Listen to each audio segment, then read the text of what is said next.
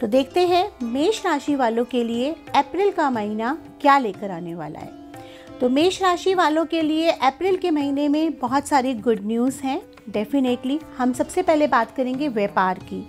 अगर आप व्यापार में हैं बिज़नेस में हैं, किसी भी तरह का बिज़नेस करते हैं तो आपको बहुत सारे नए डील्स मिलेंगे।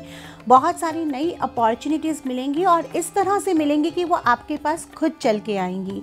तो ये महीना आपके लिए बहुत सारा अच्छा रहने वाला है। पैसे से संबंधित, व्यापार से संबंधित आपके नए क्लाइंट्स मिलेंगे और जो आपके पुराने क्लाइंट्स हैं, वो भी आपकी काफ़ी प्रशंसा करेंगे।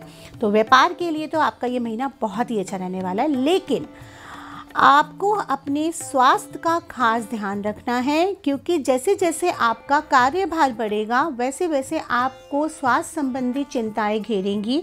हो सकता है थोड़ा स्टमक से रिलेटेड प्रॉब्लम हो जाए, या बाहर खाने पीने की वजह से कुछ दिक्कत हो जाए, खास करके जिनको ब्लड प्रेशर की या डायबिटीज़ की शिकायत है वो तो बहुत ज़्यादा ध्यान रखें, किसी भी तरह की लापरवाही ना करें डिसिप्लिन रहें। थोड़ा अगर आप मॉर्निंग वॉक लेते हैं नेचर वॉक लेते हैं तो वो आपको बहुत हेल्प करेगा। और अब हम बात करते हैं रिलेशनशिप की। पारिवारिक माहौल बहुत अच्छा रहेगा। आपके अपनी पत्नी से, पति से संबंध भी अच्छे रहेंगे, लेकिन अगर आप किसी भी तरह के एक्स्ट्रा मैरिटल अफेयर्स में हैं। तो आपको बहुत ध्यान रखने की ज़रूरत है, क्योंकि इस वक्त आपका कर्मास का पीरियड चल रहा है।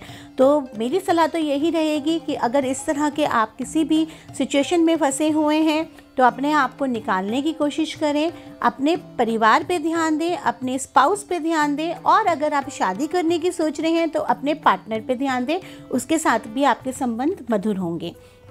और अब हम बात करते हैं ओवरऑल आपके लिए कौन सा रंग शुभ रहेगा और कौन सा अंक शुभ रहेगा? शुभ रंग आपका अप्रैल के महीने में रहेगा हरा और गुलाबी। अगर आप हरे रंग और गुलाबी रंग का पहनने में ज़्यादा प्रयोग करते हैं तो आपको बहुत लाभ होगा। और अगर आप पहन भी नहीं सकते हैं तो उसका हरे रंग या गुलाबी रंग का एक रुमाल अपने पास रख लीजिए। उससे आपको काफ़ी लाभ मिलेगा।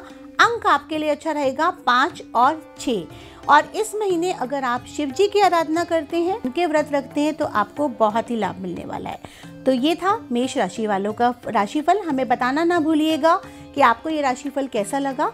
और हमारे चैनल को सब्सक्राइब करना मत भूलें, हमारे वीडियोस को शेयर करें और लाइक करना ना भूलें।